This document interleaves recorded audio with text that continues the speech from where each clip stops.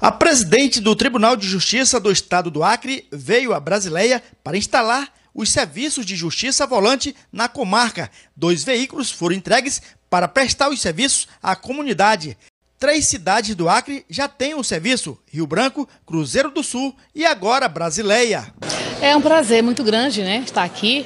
É, Brasileia é a terceira comarca que recebe esse serviço. É, temos Rio Branco, onde já se desenvolve com muita eficiência é, há quase 30 anos. Cruzeiro do Sul, que nós instalamos ano passado, e Brasileia agora. Esse serviço é muito importante porque ele traz a paz no trânsito, não é? que é o local em que é, todos nós, mais do que nunca, precisamos trafegar, porque qualquer descuido acarreta danos irreversíveis e muitas vezes a morte.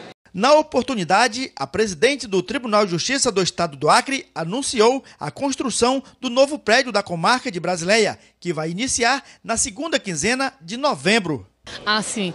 O novo Fórum Brasileia, graças a Deus, nós estamos há muito tempo, desde o ano passado, uma luta permanente para é, transferir é, os serviços judiciais que se encontram nesse fórum, que é um fórum histórico, para a parte superior, por conta das chuvas, por conta da alagação. Né? E graças a Deus agora, então, nós temos um, um, um é, conseguimos um, um, local e vamos então ali é, fazer funcionar o Fórum de Brasileia.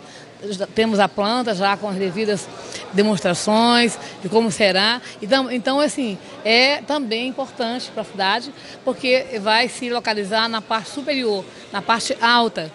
E essa parte alta a gente sabe que não é atingida pela, pela alegação, o que vai dar tranquilidade não só a, aos, aos nossos jurisdicionados, como também ao judiciário. A solenidade contou com a presença dos dois juízes da comarca de Brasileia, do presidente do Poder Legislativo, além de outras autoridades e funcionários do Poder Judiciário.